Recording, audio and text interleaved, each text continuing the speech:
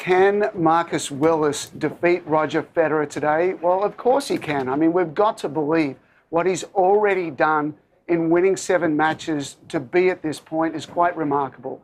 Uh, I want to talk about the left handed effect. So, when you look at Roger's career, the player that he's struggled with the most is Rafael Nadal, who's left handed. He's able to drag the ball out to the backhand.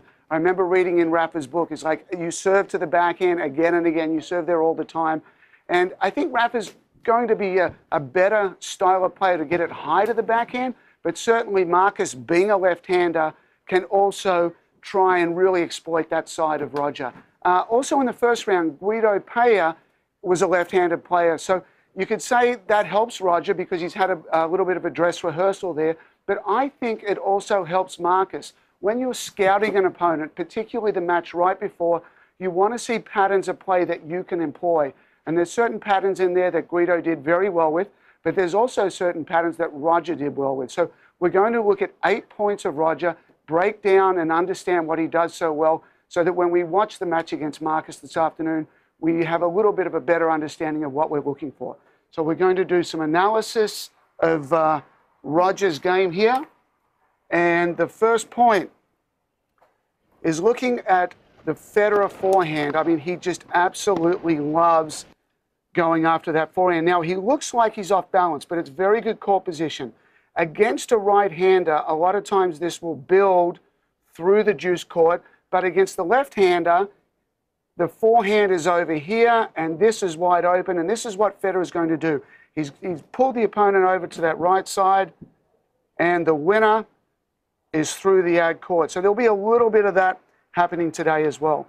One of Federer's favorite serve patterns is the out wide serve in the deuce court. He wants to pull the opponent way off the court, and the reason for that is to open up a hole. So a lot of times when you're seeing winners being hit on a court, it's the opening of the hole, it's the shot before that really does the job. So Federer is going to hit two shots here, a really good uh, out wide serve through the deuce court, and the winner through the ad. It was the serve there that did most of the damage. I have a play I talk about about a lot is the serve plus one. And this is, a, I learned it from Roger Federer. It's a really big part of his game. So he's hit the serve, he's looked for a forehand. That return of serve came back and was trying to get to the Federer backhand. What Roger does so well is he runs around it. And from here, he can dictate to any part of the court. Marcus has got to stop Roger hitting forehand standing in the ad court today because Roger can dictate, and here he finds his way to the net. In the opening round, Marcus came to the net successfully, He had a very good win percentage, and he will be approaching to the Federer backhand. But Roger's got a very good passing shot, and here there's options. We've got down the line, which typically will have to be a more spectacular shot. We've also got cross court. So Marcus is going to have to cover both. On this occasion, it's more of a blocking pass from Roger to go down the line. That ball there just didn't quite do enough to make Roger uncomfortable. Sometimes we want to approach to the forehand as well. We think that's open. So Marcus is probably going to find himself in this situation at some stage of the match today. Marcus is going to look over to the deuce court and see it's pretty wide open. It's danger over there. By the time the ball reaches that part of the court, it's only two steps for Roger. If it takes a second to go uh, through the deuce court, it's only going to take uh, Roger a second to run over there and get it. This ball here is better off going down the line as the approach, but we see here he falls for the illusion of the open court. Roger's over there and we've got the passing shot down the line. So most approaches today have got to put Roger under immense pressure hitting a backhand passing shot. Roger's stepping in, controlling from the middle of the court. He's in full control here. He should win this point. Nice little block backhand. Now we see, and he gives it away early. So we see the uh, court position down the other side. Guido really hasn't picked up that this is going to be a drop shot. And we look at the feet there, he hasn't taken that step forward. But the eyes have got to be on the wrist and the racket and the ball and in, in the preparation there. Everything right now shows drop shot with that racket laying back. It clips the net. It's a little bit of showtime there from Roger. Most drop shots are hit from the backhand wing down the line, but he doesn't mind hitting this. Hits the net. He says, "Yeah, sorry, mate. Uh, bit of a lucky one there." Next point, the serving from Marcus has got to be better to the backhand. If Roger can step inside the baseline and hit that backhand return, he's going to want to find Marcus's backhand immediately. So this is something that I expect to see a lot of today. Roger's very smart. He realizes Guido was under pressure there and sneaks into the net. Like that high volley. Keeps the racket head up there.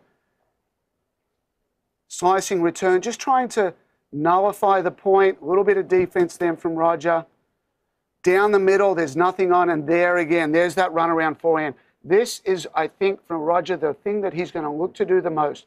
He wants to be standing in the ad court, hitting forehands. From here, he can dictate heavy to the side tee. He can dictate deep through the court. He's got down the line. He's got every option open. When Roger Federer is at his best, this is the part of the court that he loves to be in. Wide in the ad court, hitting forehands. So these are the things that we're going to look for today. These are the elements that Marcus has got to try and stop from Roger. Roger's going to be looking for a lot of forehands. And it's that, you know, as a lefty, we call it like a crafty lefty or a dirty lefty. And that's a compliment uh, to all lefties, uh, including myself. He's got to bring that heavy slice and really put Roger under pressure hitting backhands. Intriguing stuff, Craig. One quick question. Although he didn't win and he didn't manage to get a set. Guido Pella did take Federer to two tiebreaks. So he got something right in that match. Yes. What, what, did he get right? Yeah, I think I think there's a little bit of Guido played his normal kind of game. I don't think Roger's back to being Roger. I think he was a little bit off. This was a, a, a one of those matches where he's feeling his way into the tournament, and I think Roger was. You know, I would maybe it's his B game, maybe it's his B plus game, but it certainly wasn't his A game. So Guido came, he played well. Uh, he, he, got to the net a little bit. He pressures the backhand. He held serve. Roger's not back to the top of his game. So if ever Marcus wants to play him, this is the right time to do it. Do it early. As each match progresses in this tournament, you know, if, if Roger gets through this one, I expect him to play better and better. Roger Federer doesn't do an awful lot wrong or yes. badly. Yes. Um, but like a lot of other right-handed players, he's very good moving around his backhand and yes. playing that forehand from the backhand side of the court. Yes. Why is he so much better from that side of the court instead of the right side of the court? Yeah, it's uh, it, I, I did a lot of analysis with the Dartfish software in, in the past 10 years, and I learned this from studying Rafa, and I learned it from studying Roger. So let's start with Rafa, who does it the most. When Rafa hits a serve and, and uh, when the ball comes back, his first shot after the serve is a forehand. He's basically hitting eight out of 10 forehands. He's doing everything he can to avoid hitting a backhand. And the reason is the forehand is a bigger weapon. And we talked yesterday about the forehand. You know, the, the perfect analogy is the forehand is your sword and the backhand is your shield. So when you run around, you, when you've got time to run around a backhand and upgrade to a forehand, you're hitting a bigger weapon. In general, it's about eight miles an hour faster. From the back of the court, around 75% of ground stroke winners are with the forehand side and about 25% with the backhand side. So from ana analyzing Roger and Rafa, what I began to see was that when they're standing in the normal court, so for Roger, uh, that's in the deuce court hitting forehands. He's very, very good there with the forehand. But when he runs around it, he produces more winners and he has less errors from over there. So the reason that happens is if it's a normal backhand or a neutral backhand, it's pretty much got to go cross court, and the opponent has anticipation with that. When he runs around it, there's no anticipation anymore. The opponent's split stepping, and they're not leaning one way or another. So it robs them of precious tenths of seconds to get that ball. He hits a bigger shot from the other side of the court, and he can run that secondary pattern down the line. So for, for most players on tour, the run around forehand is a much more potent weapon than the normal forehand.